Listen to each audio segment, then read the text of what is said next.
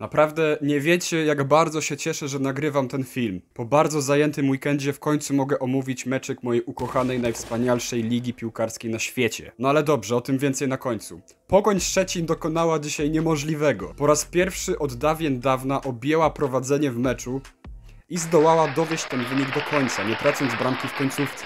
Ale w mojej ocenie tak czy siak igrała dzisiaj z ogniem, ponieważ mogła już znacznie wcześniej w tym spotkaniu podwyższyć swoje prowadzenie. I nie stresować się niepotrzebnie w tej końcówce. No ale też powiedzmy sobie szczerze, że Pogoń zmierzyła się dzisiaj z wyjątkowo słabo grającą dzisiaj Wisłą Kraków. Wisłą, która tą ostatnią swoją porażkę ligową z Lechem Poznań 0 do 5 odbiła sobie w Mielcu w środku tygodnia. Chociaż w sumie Pogoń też grała swój mecz w środku tygodnia w Kaliszu, jak to się skończyło, wszyscy doskonale wiemy.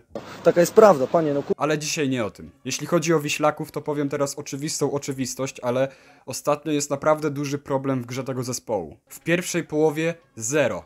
Dosłownie zero jakichkolwiek strzałów na bramkę. Co umówmy się, naprawdę jest druzgocącą statystyką. Zasadniczo wolne tempo, brak większego pomysłu na grę. Dużo gry długimi piłkami do przodu, które zazwyczaj kończyły się stratą. Nawet w około 75 minucie, w momencie kiedy Wisła powinna gonić wynik, to nadal grała z kontrataku. A naprawdę jest to dziwne, bo ten zespół ma w swoim składzie naprawdę technicznych i szybkich i ciekawie grających zawodników, co pokazywali już w wielu innych poprzednich meczach tego sezonu. I w sumie po raz pierwszy w tym sezonie mam taką sytuację, że kiedy omawiam mecz Wisły Kraków, to naprawdę ciężko jest mi wskazać jakiegoś zawodnika, który wyróżniał się na plus. No dobra, Hanouszka mogę pochwalić, bo to on popisał się, popisał się pierwszym celnym strzałem na bramkę, jeśli chodzi o Wisłę Kraków w tym meczu. No i w sumie też, żeby nie zostawiać kibiców Białej Gwiazdy tak pesymistycznych po tym spotkaniu, no to powiem, że ta końcówka no mogło się jeszcze tam zakręcić koło remisu. No i w sumie trochę myślałem, że będzie ten remis, bo Pogoń Szczecin bardzo lubi w tym sezonie, lubi tracić bramki w końcówkach meczów. Ale mimo wszystko Pogoń zagrała dzisiaj spoko.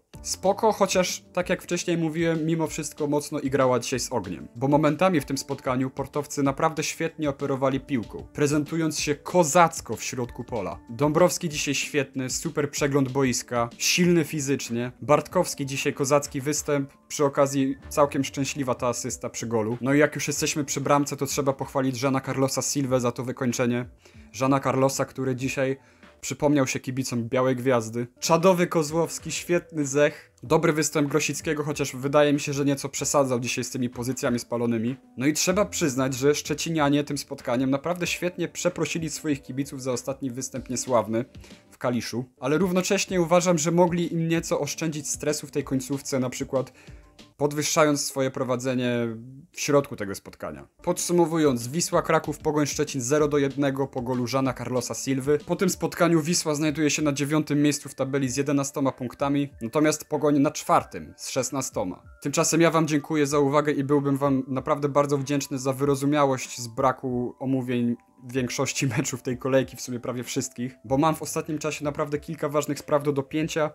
Jeśli je dopnę, to będę wolny dla Was. Ale też przy okazji w ramach zadośćuczynienia postaram się omówić w tym tygodniu, w środku tego tygodnia, y, jakieś mecze Pucharu Polski. Może nawet wszystkie, które będą transmitowane. Nie obiecuję, ale na pewno się postaram, bo ja naprawdę kocham nagrywać te filmy. Kocham. Tymczasem po raz kolejny dziękuję Wam za uwagę. Chciałbym przy okazji pozdrowić telewizję Kanal Plus za pokazanie mnie w ostatnim odcinku Ligi Plus Extra.